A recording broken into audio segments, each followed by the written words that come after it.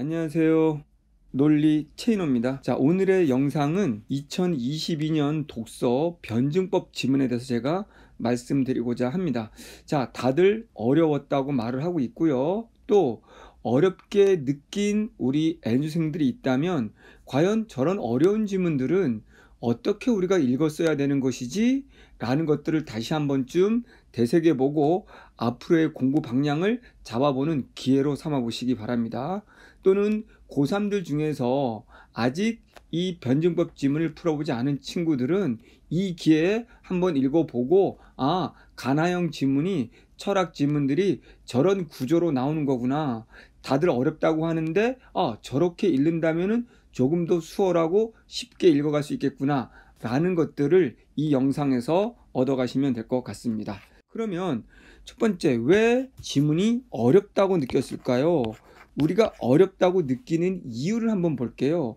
어렵다고 느끼는 이유 중에 하나는 첫 번째가 비문학 지문을 지식 중심으로 공부해서 그렇습니다. 지금 우리 변증법 지문을 독해하는데 변증법이라는 지식이 크게 도움이 되지 않습니다. 변증법 지식을 알고 있다고 해서 이 글을 읽을 수 있는 것도 아닙니다. 이 구조는 가나형으로 읽어야 되고 가나형으로 읽는다는 게 무슨 말인지 제가 좀 이따 말씀드리도록 하겠습니다. 두 번째, 이것이 어렵게 느껴진 친구들이 있다면 평상시 모든 문장을 해석하고 그래서 그것을 완벽하게 다 이해했을 때 내 글이 끝나고 그런 다음에 문제를 풀 수 있다라는 사고를 갖고 있는 친구들한테는 굉장히 어렵고 시간이 오래 걸렸을 것입니다. 제가 누누이 강조하는 비문학 독해에서 가장 안 좋은 두 가지 방식의 공부법을 가지고 있었다면 이 글은 어렵게 느껴질 수밖에 없는 겁니다. 자, 비문학이라는 건 지식이 필요하고 한 문장 한 문장 모두 해석해야 되는 거 아닌가요? 라고 반문하는 친구들이 있을 겁니다. 자, 간단히 생각해 볼게요. 변증법이라는 게 문과 쪽에 가까운 지문들이라면 지식을 묻고자 한다면 문과생들에게 유리하고 이과생들한테는 불리한 지문이 됩니다. 그러면 문이과 공통으로 보는 시험으로서의 성격이 파괴되는 거예요. 두 번째, 요즘 수능 비문학의 트렌드는 한 문장 한 문장을 그대로 가지고 와서 그 문장이 있느냐 없느냐 그 문장의 의미가 무엇이냐를 묻는 게 아닌 겁니다. 가나형이기 때문에 가지문과 나지문의 중심화제는 동일하고 글의 구조도 동일한데 각각 대응되는 차이는 무엇일까? 핵심 문장의 관계성을 묻는 게 바로 요즘 수능 비문학입니다. 그런데 한 문장 한 문장에 매달리고 지식을 가지고 접근하려고 하니까 혼자 읽어내는 힘이 없는 겁니다. 그래서 세 번째 지문들을 어렵게 느끼는 이유가 쉽게 말하면 수동적인 공부를 하기 때문입니다. 선생님들이 그냥 결과적으로 뜻풀이해지는 내용을 받아 적고 그것을 익히는 수업이죠. 그러니까 가장 자세히 뜻풀이를 하면 할수록 여러분이 혼자서 핵심을 찾아가는 관계를 볼 수 있는 눈은 점점 어두워지는 겁니다. 그렇기 때문에 이런 지문들이 어렵다고 느낄 수밖에 없는 겁니다. 자, 그러면 두 번째. 우리가 어떻게 그럼 이런 지문들을 읽어가야 하는가라는 거죠. 자, 우리가 비문학 공부하는 방법이 단순히 많은 지문을 읽는다고 해서 느는 것도 아니고요. 한 문장 한 문장을 다 뜻풀이를 한다고 해서 맞출 수 있는 것도 아닙니다. 한 문장 한 문장을 다 뜻풀이 했을 때 약 50개의 문장을 여러분이 뜻풀이 했다면 결국 머리에 남는 건 아무것도 없을 겁니다. 들어와서 바로 빠져나갑니다. 이런 문제를 해결하기 위해서는 우리가 논리적으로 독해를 해야 됩니다. 그럼 논리적 독해라는 건 과연 뭐냐? 글쓰기 논리 독해라는 건 뭐냐면 우리 첫 문장이면 이 첫 문장이 나머지 문장들의 뭐가 어떤 내용이 전개될지를 범주를 설정해 주는 거고요. 그러면 그거를 판단해서 뒷 문장 중에 핵심이 무엇인지를 우리가 예측 하고 중요한 문장과 아닌 문장을 선별하면서 독해를 해야 되는 거예요. 사고를 좀 더 확대하면은 첫 단락이 나머지 단락들의 기준이 되는 거예요. 범주가 되는 거예요. 역시 나머지 단락 중에서도 핵심 내용들이 무엇인지 예측하고 선별하면서 읽어가는 훈련을 해야 되는 거예요. 쉽게 말해서 논리적으로 독해한다는 말은 해석할 기준을 범주를 정해서 그것을 머리에 두고 그거와 연관성 있는 핵심 문장과 아닌 문장을 선별하면서 읽어가는 능력을 말하는 겁니다. 자, 그러면 세 번째, 지금같이 가와 나의 결합형은요. 논리상 두 개가 같이 온다는 건 아까 똑같죠? 둘의 동일한 범주를 가지고 있다는 거예요. 요번 시험을 보면은 변증법, 변증법의 구조, 변증법의 구조가 적용된 미약, 미약이 가에서는 그 위상이 낮다. 그런데 나에서는 그 미약의 위상이 높답니다. 차이가 있다면은 변증법 이 미약에서 구조 중에서 딱 첫 단락을 보면 자 내용적인 측면과 형식적인 측면의 관계를 묻겠다. 내용은 예술, 종교, 철학이 동일하다. 그런데 이념으로 형식은 그것이 직관, 표상, 사유로 다르다. 이게 전부였어요. 그런데 여기에서 바로 형식적으로 다른 직관과 표상이 대립하고 그것이 철학에서 종합된다는 겁니다. 그런데 나에서는 아주 쉬웠어요. 나에서는 역시 뭡니까? 이 변증법 좀 전에 말씀드렸던 아, 예술과 종교가 철학에서 종합된다 이거였어요. 그런데 요 예술을 다른 말로 하면 아주 쉬워요. 논리적으로, 상대적으로 이거는 객관적이다. 자, 이거는 외적이다. 그러면 종교는 상대요. 주관적이다. 이 외적이 아니고 내적이다. 이렇게. 그런데 여기에서 종합이 돼야 되는데 종합이 된다는 말은 이 두 가지의 성격이 다 있어야 된다. 그런데 해겔 너는 예술인 죽이고 종교, 주관, 내적인 측면만 강조했잖아. 그러니까 네 말대로 하면 여기에 다시 객관인 예술을 가져와야 돼. 이게 나지문의 전부예요. 그러면 두 개를 비교했을 때는 아 동일하게 변증법을 이야기하고 있고 변증법이라는 것은 대립구조를 가지고 있고 대립구조에서 여기는 종합을 강조한 것이고 여기에서는 변증법에서 형식과 내용이라는 상대의 대응을 알려준 거예요. 근데 이런 내용들이 쉬운 게 뭐냐면 형식 나오면 상대어로 내용이 나오는 거고요. 예, 여기처럼 객관이 나오면 주관, 외적이 나오면 내적이 나오는 거예요. 그래서 제가 아 요런 지문들은 인문 지문의 글쓰기 논리라면 조금은 쉽게 읽을 수 있다라고 눈이 강조했고 이렇게 익힌 친구들은 조금 쉬웠을 겁니다. 그렇지 않은 친구들은 이 지문이 또 상당히 어려웠을 거예요. 사람마다 난이도는 다르기 때문에 제가 이 지문을 어렵다, 쉽다라고 말씀드리진 않고 이 영상의 취지는 여러분들이 앞으로 아무리 어려운 질문이 나와도 우리 글쓰기 논리 구조로 읽을 때 쉽게 읽을 수 있다. 첫 단락에서 범주를 잡아서 예측을 하고 선생님들이 결과적으로 적어준 논리 구조라는 걸 받아 적을 게 아니라 내가 이 문장을 보면 이 단어를 보면 다음에 이것이 나와야 되고 아까처럼 어 자, 예술이 객관이 나왔다면 당연히 종교는 주관이 나와야 되는 거고 형식이 나왔다면 이거는 내용이 나와야 된다. 반대로 내용이 동일하다고 했으면 어 요거는 다르다고 말할 수 있겠구나. 라는 이런 논리적인 글읽기를 익히면 여러분들도 수능날 당하지 않고 충분히 잘 읽어 나갈 수 있는 힘을 가지고 있다라는 거 보여드리는 겁니다. 그래서 여러분들이 앞으로 비문학 공부를 할 때는 무작정 선생님들이 적어준 내용을 받아 적는 그런 죽은 공부를 하지 마시고 능동적인 공부입니다. 능동적인 공부. 한 개의 지문을 여러 번 제가 지금 가나형 두 개를 아주 세네 문장으로 압축을 했잖아요. 한 개의 지문을 다섯 여섯 개의 문장으로 압축 그리고 이게 딱 구조화될 수 있도록 한번 여러분들이 반복적으로 분석하는 연습을 해야 돼요. 여러 개의 지문을 풀기보다 한 지문을 여러 번, 한 개의 지문을 여러 번 논리적으로 분석하는 훈련을 익힐 때 실제로 비문학 실력이 늘어날 것이고요. 이제 여러분들이 실제로 제가 어떻게 이 지문을 논리적으로 읽는지 한번 보시고 일단 이 영상에서는 제가 지문 읽기만 보여드리겠습니다. 아 저렇게 읽으면 좀 더 수월할 수 있겠네 라는 거죠. 그래서 여러분들 좀 어렵게 느꼈다면 이제 자신감을 가지고 여러분들도 반드시 할 수 있다는 신념으로 또다시 도전해 보시기 바랍니다. 자, 모두들 파이팅 하시고요. 자, 논리 구조 읽기로 비문학을 완벽하게 완성할 수 있기를 기원하고 자, 작년에 조금이라도 어려움이 있었던 친구들은 다시 한번 아 이제 내가 더 좋은 기회 새로운 방법을 한번 도전해 보자 라는 마음 자세로 여러분들이 접근한다면 충분히 어떤 지문이 나와도 어, 100점 맞을 수 있을 거라고 봅니다. 이제 영상 한번 보시기 바랍니다. 자, 어떻게 읽어야 될 것인지를 한번 잘 봐봐. 내가 눈이 말하는 수능 날 한 문장 한 문장에 매달리면 시간 가는 줄 모르고 다 갈 것이고, 그리고, 어, 봤을 때 우리가 분명히 말했듯이 정리를 잘해야 되는데 첫 단락에서 기준을 잘 잡아서 정리를 하라.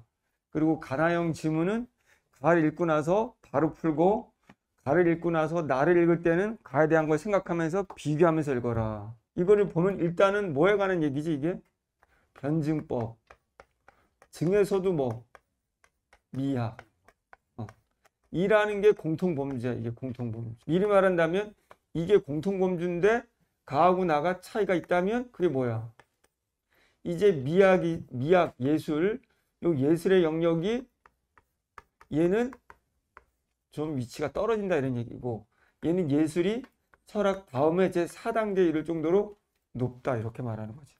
그러니까 똑같은 그 대신 이 변증법이라는 구조, 정반합이라고 하는 두 구조를 가지고 설명하고 있다는 건 동일하다. 그러니까 우리가 가나형을 읽을 때는 중심화제가 같다, 공통범주, 글의 구조가 같다. 근데 그들의 상대적인 차이가 무엇이냐 이렇게. 요걸 생각하면서 읽어야 되는 거고 변증법이라는 지식은 필요 없다. 눈이 말하는 거지. 무슨 말인지 한번 같이 읽어가보도록 하겠습니다. 그러면 천천히. 자기는 어떻게 읽은 게 차이가 있는지를 봐봐. 난 니네한테 가르치는 이론대로만 할 거고 변증법 지식 설명하지는 않을 거야. 자, 기억, 정립, 반정립, 종합. 모르지. 기억, X. 의무사 던질 수도 없지. 던질 수 있는 건 뭐야? 뭔데 이거? 설명하겠죠. 어, 이게 변증법의 논리적 구조래. 이걸 일컫는 말이다. 그럼 또 아직도 안 끝났어. 야, 변증법은 난 모르겠고, 얘네 논리 구조가 뭔데? 논리 구조가 이거래. 성립, 반정립. 저것도 그래도 어려운데? 변증법에 따라 철학적인 논증을 수행한 인물론은 단연 해결해. 이건 이런 필요 없는 문장이지. 우리 이런 궁금하지 않지? 야, 빨리 말해. 이게 뭔데? 논리적 구조가. 정립, 반정립, 종합이 뭔데? 이거 해결 말고 체인으로 해. 체인으로 니체. 필요 없는 문장이지. 니체다. 변증법은 대등한 위상을 지니는 새 범주의 병렬이 아니라 이제 나오네. 아니라 보다 접속사 잘 보라며. 그럼 이 문장 집중해서 봐야지 이제. 병렬이 아니라지. 병렬이 아니라. 그럼 뭐냐? 대립이다 대립. 이게 눈에 들어와야지. 아, 지금까지 읽은 것 중에서 이것만 보면 돼 이것만. 야 정립 반정립 종합이라는 건 무슨 말인지 모르겠는데 이 대등한 세 가지 범주가 있잖아. 세 범주. 정립, 반정립, 종합이라는 게 세 범주 애들이 병렬하는 게 아니야, 저거. 두 개는 대립하게, 대립하는 것이 두 개고, 그 다음에 그게 조화로운 통일, 조화, 통일. 이게 하나로 수렴. 수렴 무슨 말인지 모르겠는데요. 상량. 모르겠는데요. 아, 그냥 넘어가. 이게 중요한 말이 아니지. 이런 구조를 특징으로 한다. 다시 설명했네. 그러면 다시 정립, 반정립, 종합 이게 변증법의 논리적 구조. 논리적 구조가 뭔데요? 얘 세 개는 이 세 개들이 대등한 위상을 갖고 있는데 어 범주 순서대로 얘 x라고 자 얘랑 얘가 대립 이렇게 되는 거네 대립 갖다 넣는 거지 얘가 종합되는 거네 이퀄 조합 이퀄 통일되는 거네 그럼 이렇게 오는 격이 몰라도 되지만 이쪽으로 수렴되고 위쪽으로 올라간다는 뜻이네. 이렇게. 그럼 몰라도 되지만 아니라 뒤에 나오는 중요한 서로 대립되는 거다. 이렇게. 근데 이게 하나로 바로 오는 거다. 자, 해결해서 변증법은 또 변증법의 특징이네. 논중의 방식임을 넘어서 이것도 넘어서 그러면 이 뒤가 더 중요하네. 논중 대상 자체의 존재 방식이기도 하다. 별로 안 중요하네. 왜? 우리는 이제 이게 궁금해. 야, 두 개가 대립하고 하나로 합쳐진다고? 그럼 나는 계속 머릿속에 이게 궁금하거든. 이게, 이게, 이게. 근데 그 설명 안 하고 다시 또 뭐 얘기하냐면 논중은 논중의 방식. 어, 근데 논중의 방식. 하나는 또, 또 뭐야? 자체 존재 방식. 별로 안 중요해. 넘어가. 그래도 내가 그렇게 적는 이유는, 어, 두 가지 나왔네. 방식이나 방식이랑이 범주인데 하나는 논중의 방식, 하나는 존재하는 방식이네 이런 식으로 중요하지 않은 것 같은데 난 이게 궁금해 머릿속에서 이게 세계의 근원적 질서인 이념의 내적 구조도 잘 모르겠는데 체인호가 말을 하기를 이론 다음 표현이 중요한 거라고 했는데 그럼 이념 중요한가 봐요 이거. 이념의 내적 구조도 어 상대요 내, 내적인 거라고 나왔네. 맨날 하는 거 해볼게. 난 그냥. 이게 무슨 말인지 모르겠는데 이념의 내적 난 이게 궁금했거든. 어쨌든 얘도 이렇게 뭐와 뭐가 대립되고 조화된다는 것도 변증법의 구조 변증법은 논중의 방식임을 넘어서 존재 방식이기도 해. 별로 안 중요해. 또 이제 논중에서 계속 설명을 해. 아, 변증법에 대해서 계속 설명을 해. 이념의 이게 내적 구조대 아 그럼 이 이념의 내적 구조도 변증법. 그럼 이념이 나왔으면 내적인 게 나왔으면 외적인 것도 나오나? 이게 도라고 말했으니까 난 이해, 이해하지 않고나 이런 거 보는 거야. 이념이 시 공간적 현실로서 드러나는 방식도 그럼 여기 눈에 들어온 단어? 현실이 돼야 되겠네? 뭐 이런 게 중요한 게 아니고. 이념이 시 공간으로 드러나는 게 현실. 정리해줬네 다시.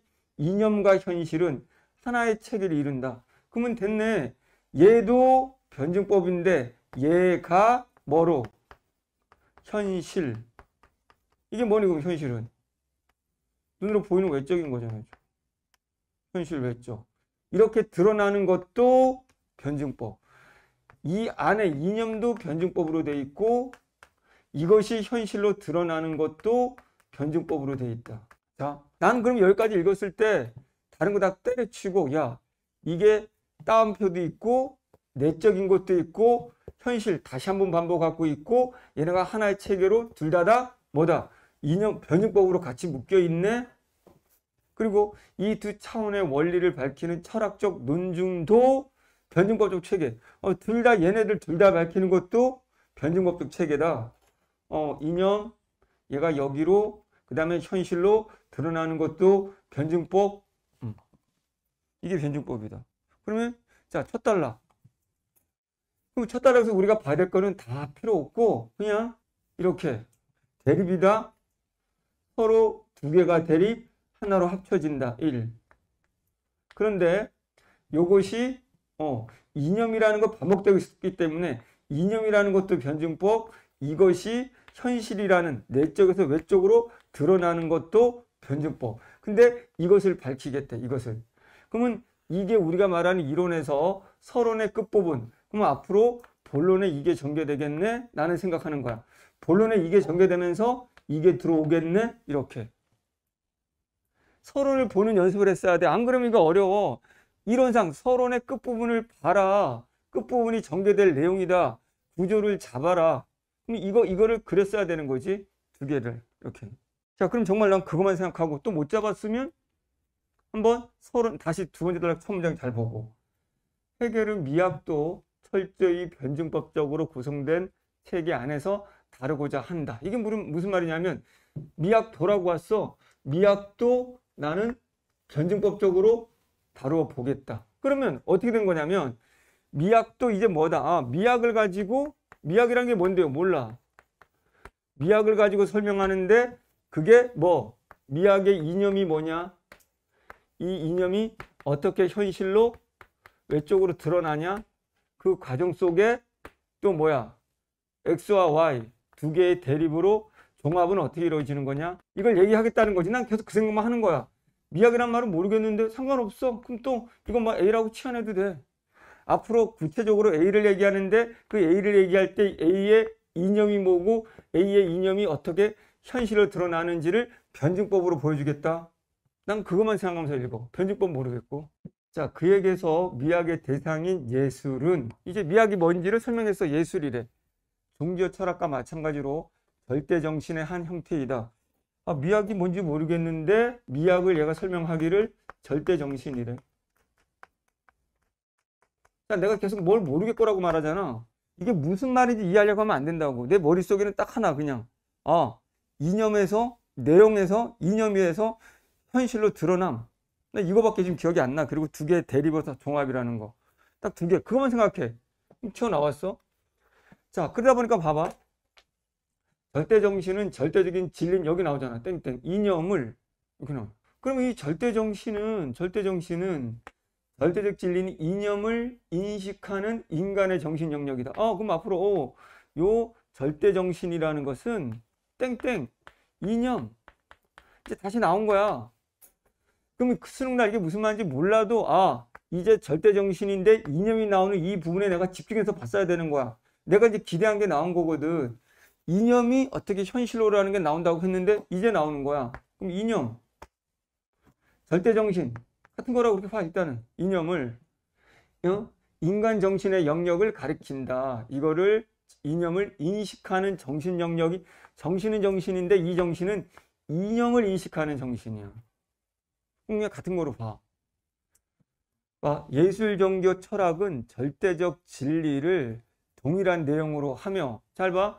그러면 얘들 똑같이 이게 뭐냐고 돼 있으면 이렇게 가야 되는 거야. 절대 정신이 동일하다. 그 이념이 동일하다. 그게 예술과 어, 종교와 얘네 셋은 동일하다. 무엇? 절대 정신이라는 걸 갖고 있는 걸로 동일하다. 절대적 진리를 동일한 내용으로 하며 예, 절대 정신 이퀄 이렇게. 그럼 얘네들의 셋은 이렇게 이렇게 동일하다 이것이. 이걸 뭐야? 내 용어로 갖고 있다. 예술, 종교, 철학은 동일한데 얘네들이 바로 뭐냐면 절대정신 이념이 바로 얘네들은 내용이다. 그러면 난 머릿속에 다시 얘네들이 앞에 이념이 있으니까 앞으로 궁금한 건 여기서 절대정신이 이퀄 이념이고 이퀄 얘네들의 내용이야. 아까 내용이란 내적인 부분이라는 거야. 그러면 이것이 다시 아까 어떻게 현실로 외적으로 드러나는가가 앞으로 난 나올 거라고 보는 거야. 그러면 세 개 나왔으니 세 개의 차이를 이야, 난 이야기할 거라고 보는 거야. 이건 이해하고 아무 상관없어. 봐. 이것도 상대어라는 걸 이해해야 돼. 동일한 내용. 우리 예술지문 읽을 때 내용, 형식은 기본적인 거거든. 근데 어쨌든 잘 못 잡았더라도 동일한 내용으로 하며 다만 이게 눈에 들어와야지. 인식의 형, 식이라는 게 눈에 들어왔어야 돼. 상대가 눈에 들어왔어야 돼. 아, 앞으로 이제 전개 내용은 그러면 이 염이라고 하는 절대 정신이라고 하는 절대 진리라고 하는 내용들은 얘네가 내적으로는 동일하지만 형식의 차이. 아, 요것이 현실로 드러나는 방식, 외적인 거 이퀄 이게 형식이네. 얘네는 다르다는 뜻이네. 구조가 이렇게 되는 거지. 구조 간단한 구조야. 간단한 구조.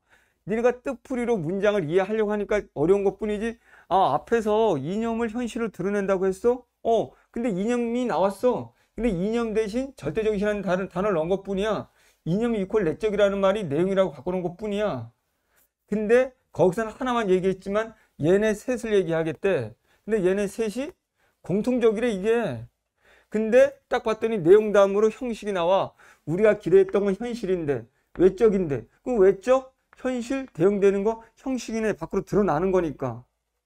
그럼 형식은 다르다. 그럼 이제 앞으로 어떻게 다르지 세계가? 차이만 이해하면 되겠네. 뜻풀이가 아니고. 그래서 절대 정신의 새 형태에 얘네가 절대 정신이란 말이야. 절대 정신을 갖고 있는 얘네들, 절대 정신을 갖고 있는 얘네들 새 형태에 새 형태라는 건 이거야. 절대 정신, 종교, 철학이겠지. 왜? 절대 정신의 내 용은 이념, 진리 그건 같은 거고 그럼 세 가지로 말하려면 예술, 종교, 철학이 이게 절대 정신의 형태, 절대 정신의 형태가 드러난 형식 이게 드러나게 하는 형식이 직관, 표상, 사유 형식도 단어가 반복되잖아. 그럼 여기는 직관이 뭔데? 몰라. 표상 뭔데? 몰라. 각각에 대응된다는 것만 알면 되는 거지. 뭐에? 예술은 직관에 종교는 표상에, 철학은 사유에. 뭐 어려운 거 없는데 계속 같은 말 반복인데. 그럼 모르니까 설명하겠지 또. 직관은 봐. 주어진 물질적 대상을 눈에 들어오는 거. 감각적으로 지각하는 지성이고. 그럼 눈에 들어오는 거다 때려치고 감각. 쉽게 말하면 뭐는 얘냐, 얘는 절대 정신, 이퀄 말하면 이념. 이념이라는 것을 어떻게 밖으로 드러내니 직관으로 드러내면 그때 걔는 예술이고 이런 말이잖아. 이해 못해도 돼 지금 내가 설명하는 거. 승난 이렇게 설명할 수가 없어. 니네 이해할 수가 없어. 그냥 그리고 칙 빠지라고. 그리고 빠지라고. 한 문장에 머무르지 말라고. 그냥 그리고 빨리 치고 빠지는 연습을 하라고. 안 그러면 수능 날 인생도 날 거야. 이거 무슨 말이야. 계속 이러고 있으면 시간은 가고 아무것도 안 들어와. 그러니까 평상시 정리하는 연습이 중요하다고 이게 서론에서 생각한 걸로 정리를 하라고. 내가 지금 설명하는 의미는 설명 의미가 없다고 이런 것들. 아, 이거는 종교라는 절대 정신, 이념을 갖고 있는 애를 절대 정신의 형태를 뭐 표상이라는 방식으로 밖으로 드러났을 때 걔를 종교라고 한다. 그런 말 어디 있어? 그 필요 없어 그런 건.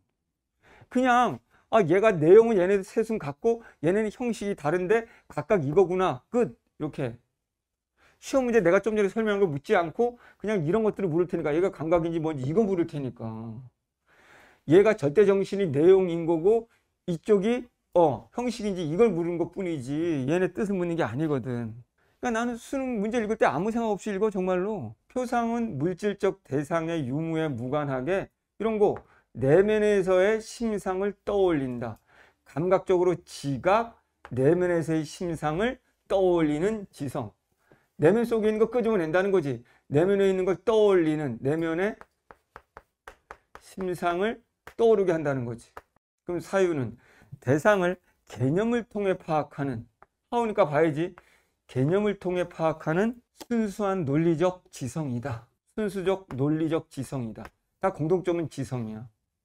그럼 다시 여기까지 봤을 때, 어, 난 별거 없겠고, 난 모르겠고, 변증법이라는 것은 이념을 현실로 드러내는 것도 변증법인데, 이때 이념이라는 건 절대 정신인데, 얘네 세 개의 절대 정신의 형태가 공통적으로 이념을 가지고 있어. 절대 정신은, 절대 정신이라는. 근데 얘네가 현실로 드러나는 거라고 했어. 드러나는 건 형식, 외적, 반응식이 세 가지로 달라. 여기까지. 이의 세 형태는 이 세 형태 예술 종교 철학은 뭐라고 다시 불리냐면 직관하는 절대 정신이 곧 예술이라고 불리고 표상하는 절대 정신이 곧 종교라고 불리고 똑같은 말이 반복이잖아. 동의어 반복. 할 거 없지. 해결에 따르면 직관의 외면성과 새로 등장한 거 이제. 직관의 특징이 얘가 외면적인 특징을 갖고 있대. 그럼 얘는 뭘까? 얘는 내면적인 특성을 갖고 있겠지. 내면성은 사유에서 요 둘은 사유에서 종합된대. 이제서 적용하는 거야. 이제서 여기를 뭐냐면 우리가 앞에 궁금했던 게 뭐 서로 대립되는 두 개가 하나로 종합된다. 그럼 대립이네. 외적인 것과 내적인 거니까 대립되는 거네. 이렇게. 그 대립되니까 대립된 얘네들이 와서 종합된 거네. 그러면 요 부분은 이제 아까 말한 어, 정, 반, 합을 여기에다 또 실어내 놓은 거네요.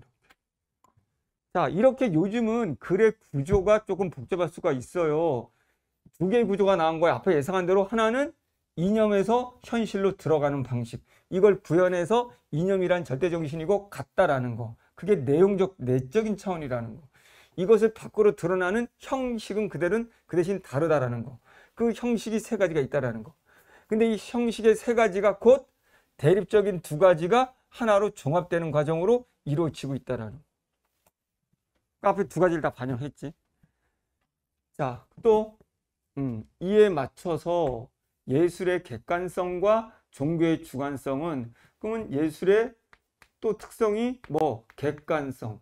그럼 객관성이니까 얘는 뭐야? 한 봐도 주관성. 상대어복이라고 했잖아. 상대어.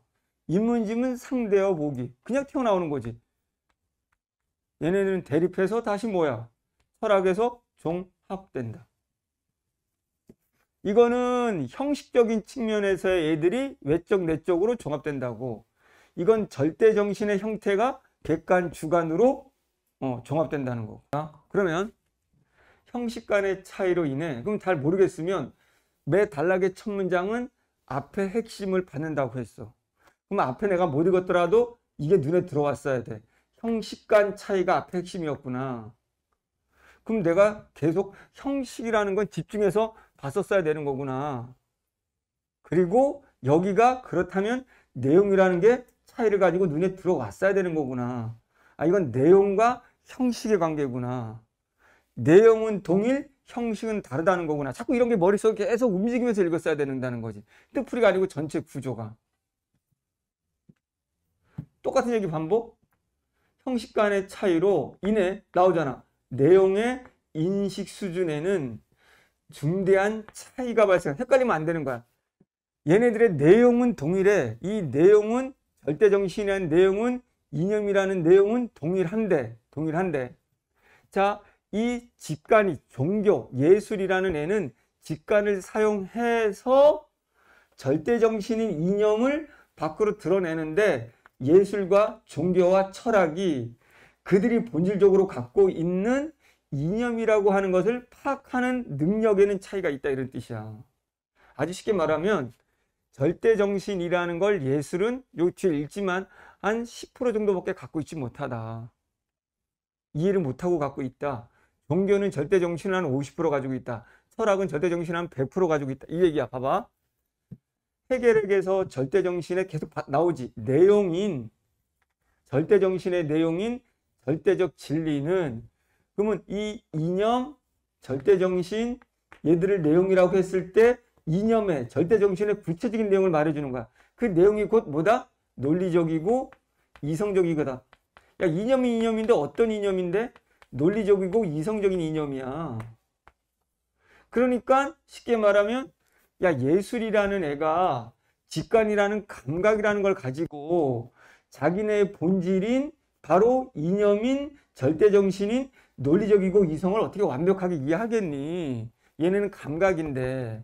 그러니 예술은 감각을 사용하기 때문에 직관을 사용하기 때문에 절대정신의 내용인 논리 이성을 완벽하게 이해하기 힘들어.